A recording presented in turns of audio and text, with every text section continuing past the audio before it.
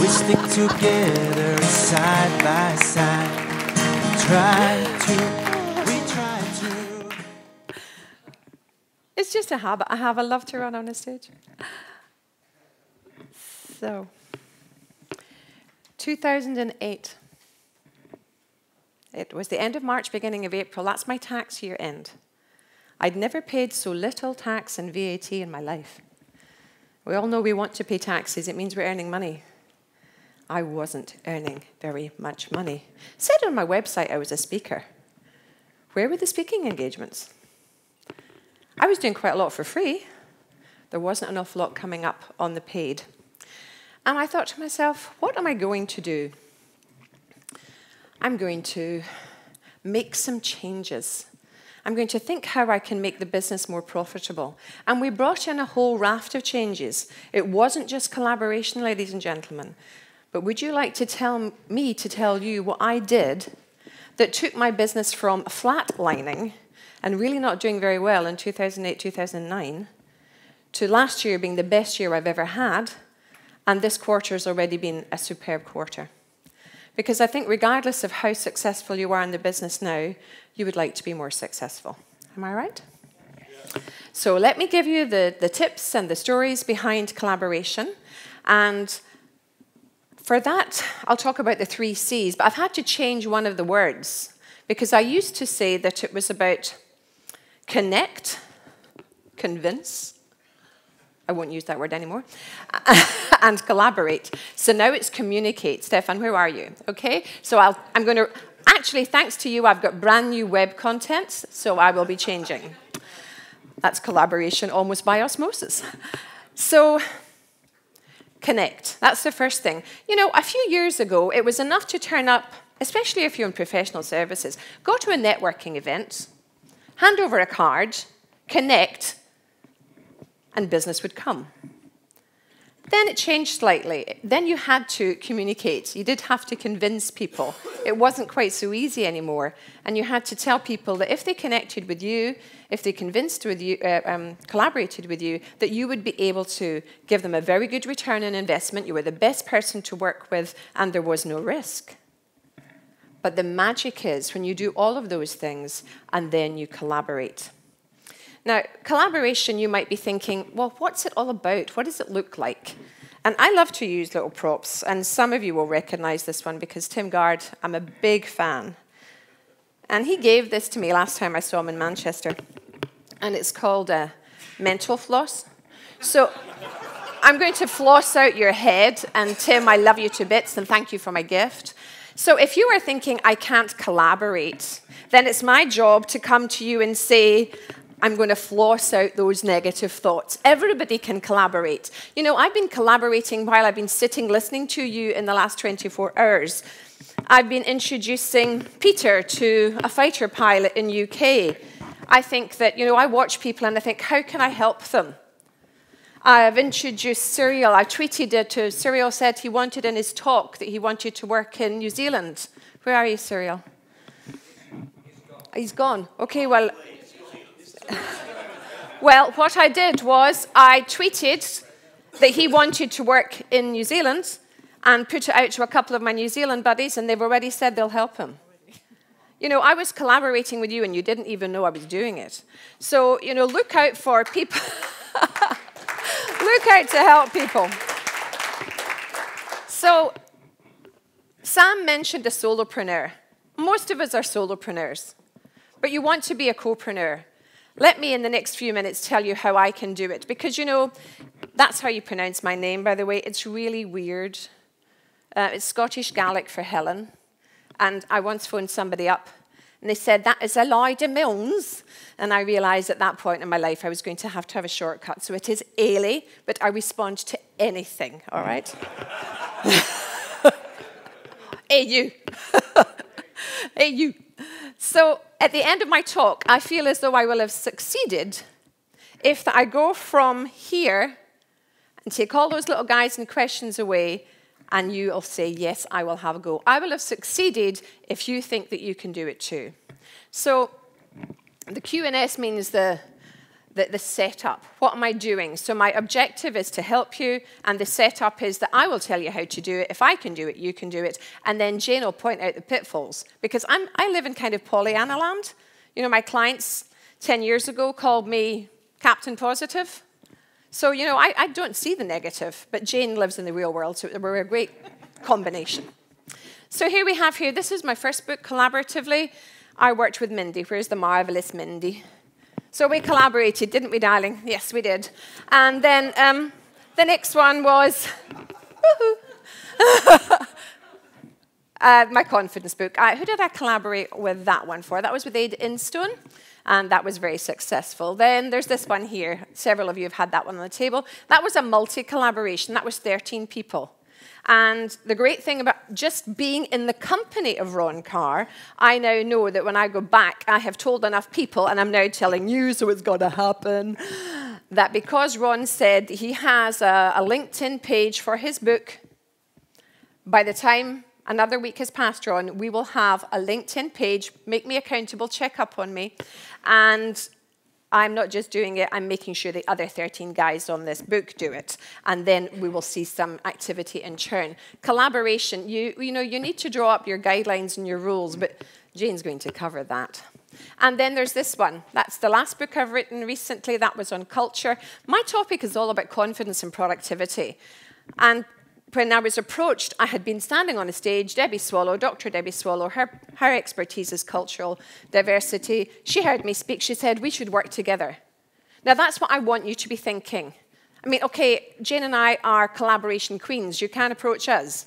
But I would like you to be thinking about who's in the room. I now give you permission to have a conversation with someone that you never might otherwise have had. And it can go along the lines of, Ailey and Jane have said we should talk and start that conversation. So I had that conversation with Debbie. She saw me speak, and we started with a great mind map, Stefan. We knew where we were going, and we ended up not self publishing, we went with a publisher this time.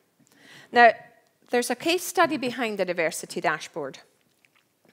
I was approached by Munich Re. Have anyone ever heard Munich Re? Large German um, insurance company, reinsurance company. It's quite a long story. Let me just cut to the quick. I was asked if I would um, allow them to use a fabulous little animation that we have on the internet. It's already had 72, 76, I think it is, thousand hits. And they asked if they could use this animation on their internet. Well, it was going to be rather silly to say, no, I would love them to have this animation. But I thought, how can I leverage something? Now, again, I should probably have phoned and collaborated a bit earlier. Ron has given me more tips. He gave me those in Australia. I re recorded them on my voicemail and I'm putting them into action.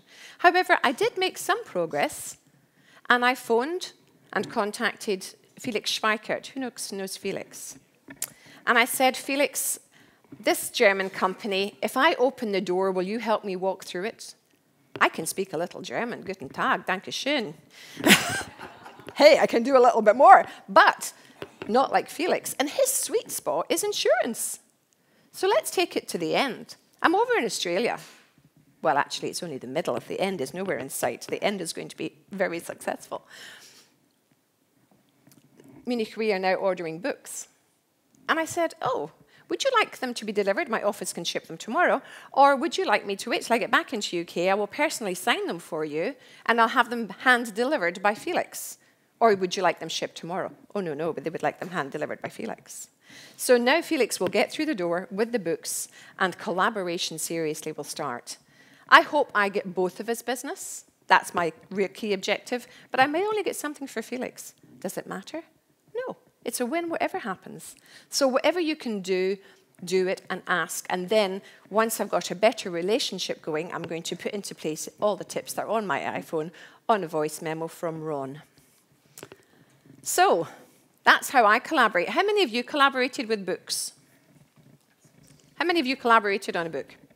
A great number of you. Well, if you haven't got your hand up, look at the people whose hands are up. They know what they're doing. Collaborate with them. Collaborate with charities. I was listening to Radio 2 three or four years ago. There was a very good program. It was Chris Evans on Drive Time. This girl here, um, Sally B, this one, Sally, was talking about the fact she'd had five heart attacks in five days and she survived. Fabulous story. I was so impressed by her story.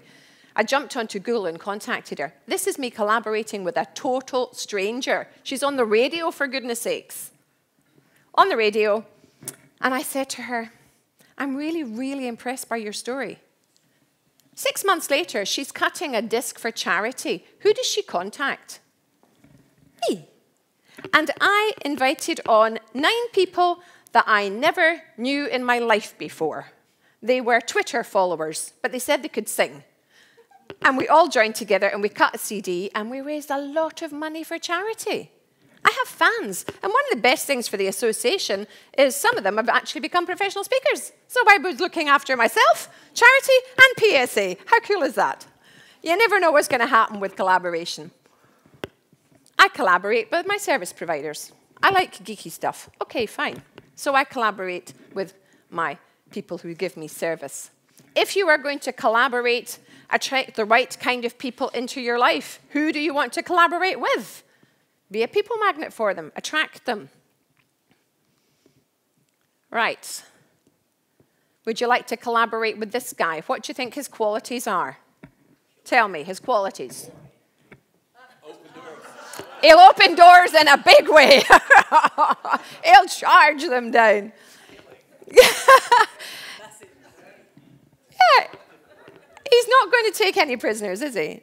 the thing is, you might get a rash working with someone who's constantly rhino. But I, you know, if I wanted to be working with a collaborator, I think of David Heiner in UK. He's a rhino, but he's one of the sweetest and nicest guys I know. So don't. I think that slide there is don't judge a book by its cover. You know, people in this room can have such great reputations that you're kind of frightened to approach them because you know they're already successful. So you might be thinking, would they want to collaborate with me? Well, don't make that an excuse to start having a conversation. They're not really rhinos all the time, and they might be very interested in your ideas. So, who do you want to work with? What kind of skills do you want? What kind of qualities do you want? Just look at that for 13 seconds and tell me what skill would you look for? What quality, what personality, what characteristic is important? And I'll pick yours. What's your one?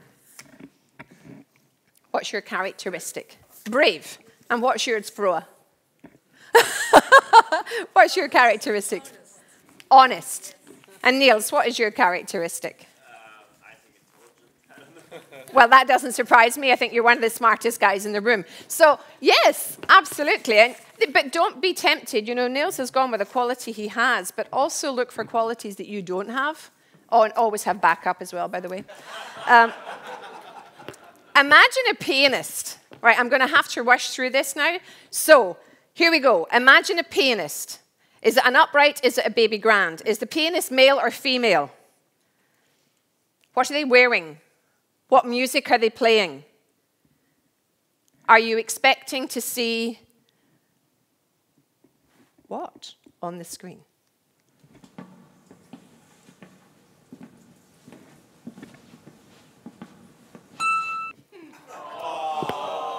I have only 20 minutes, darling, so we have to do what we can.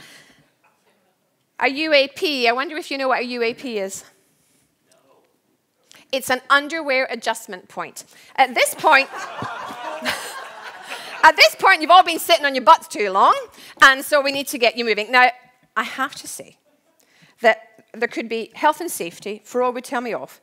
You are now responsible for your own safety. I am not going to follow you around the room. Don't do anything daft. If you want to partake, fine. If you'd rather sit and observe, that's fine too. If you have a sore back, don't join in. So it's up to you. You're in charge of your own decisions. But as I'm doing this, I'm going to ask Jane, she will begin to, because at, at the end, I've only got a few minutes left, uh, we are going to do a very um, clever thing at the end, and we will give away two of our books. My one on uh, diversity, and Jane's is on the corporate peacemaker.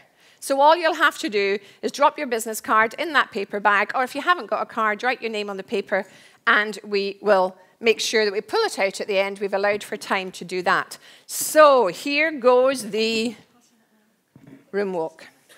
This is what I'd like you to do, and we only have a couple of minutes to do it. So listen to the instructions, and then if you wish to, you move. The back three tables, will you go and stand at the back of the room? Actually, it's back four tables, isn't it? And these front three, will you kind of stand here? So everybody move now to a corner of the room, back or down here. Thank you.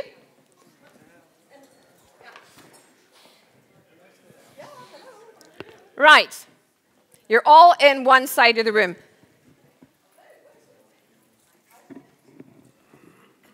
Now, if there's people sitting down, you have a very important job to do. You are the observers. You are watching how they behave, and I'm going to ask you so that we can feed back. So, are you people standing on that side? I'd rather have you. You're just going to cross that way. Okay, fine. But that's, I think if you all go on the same side would be helpful. Right. What I'd like you to do, fellow speakers, is just cross the room. Go.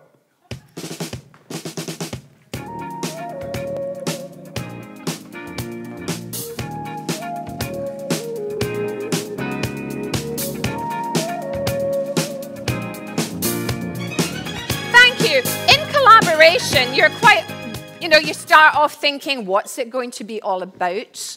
I don't know what I'm doing.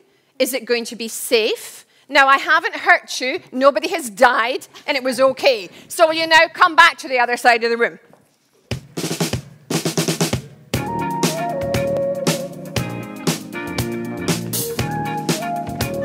Right. Did you feel any different on the way back?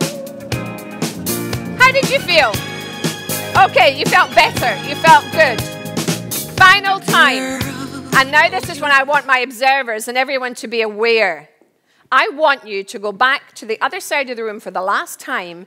And when you go back, you need to collaborate. So do something in a collaboration factor with a person or people. Get to the other side of the room. And there are prizes for the best.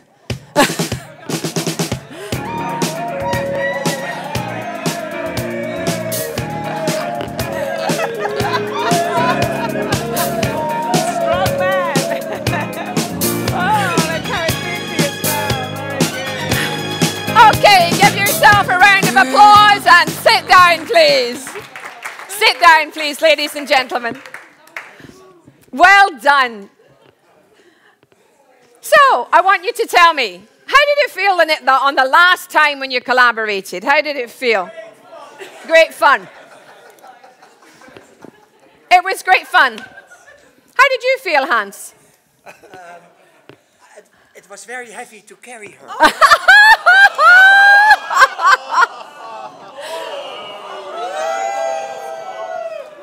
I was going to give that group the prize, but I'm afraid that Hans has just blown it. Uh, I saw somebody piggybacking. Who was that? Who had somebody on their back and piggybacking? That was you and.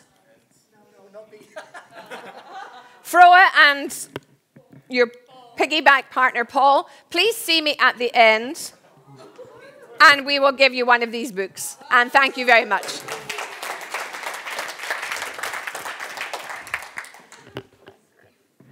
Collaboration. It's fun. As long as you don't go like this. Jane is covering that in great detail. there we are. We were asked, we even wore the same outfits. Um, we were asked to be the president of PSA and they wanted us to do one at a time. The setup was something like this. It's a really tough job. Anyone who's been president will know that. It's very political. When you're finished, your business will have suffered, and you'll probably need some kind of psychological report. And I thought, that's the worst sell I've ever heard in my life. I was not going to be convinced that that was what needed to be done. So we said we would collaborate. All I can say is we drew up six months before we ever came president our achievables. We wrote down what we could achieve as president for the PSA, but we also wrote down what we could achieve for ourselves. And we're bang on target and exceeding all our expectations. But we're not doing it because we are great per se. We're doing it because we've collaborated with some fabulous people. I've heard Ron talk about coalition arrangements. I've heard Leslie say that she couldn't have managed to run GSF if she hadn't collaborated with people. I don't care whether you call it cooperation, collaboration, or coalition. Just do it. Just do it because your benefit will be tremendous. So stop this kind of negative thinking. I'm cleaning out your ears. Go for it. You can do it. Because as I said with my little guides at the beginning, if I can, you can. Forget about tomorrow. I don't want tomorrow. I'm a today girl. Do it today. You've got on the table um, uncork your survivor spirit. I do believe that when I got to 2008 and business wasn't good, I just pulled out the cork and I unleashed my survivor spirit and my business. Isn't it? And I, I did, do have to say credit to someone in the room who I thought did a fabulous job yesterday. Another key thing, because I said there was a raft of things happened in 2008.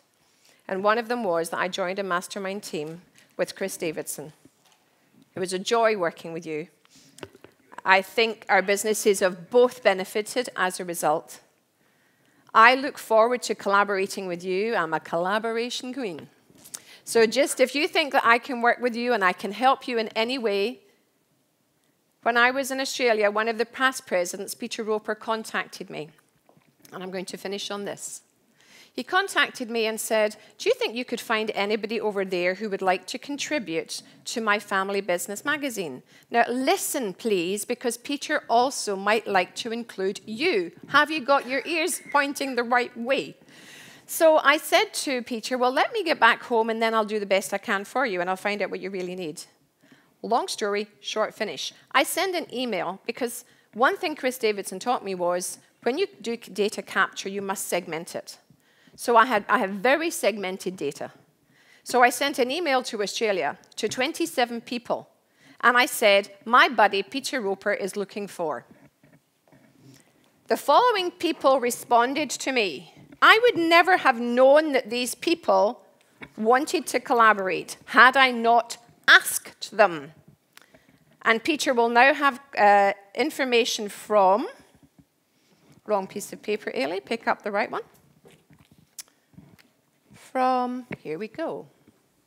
Travis Bell, John Yeo from TEDx, Jill Walker, Shivani Gupta, Jennifer uh, Canviler said she'd love to, but not just yet. Kath Vincent, Tom O'Neill from New Zealand, he's the guy who's going to help your colleague here. And the other thing that came out it for me, I was busy helping somebody, one of my Aussie buddies introduced me to Seth Godin. I'm now a friend with Seth Godin. I'm using his material because I went out to help somebody else and somebody else out of the blue helped me. Go collaborate, and thank you very much.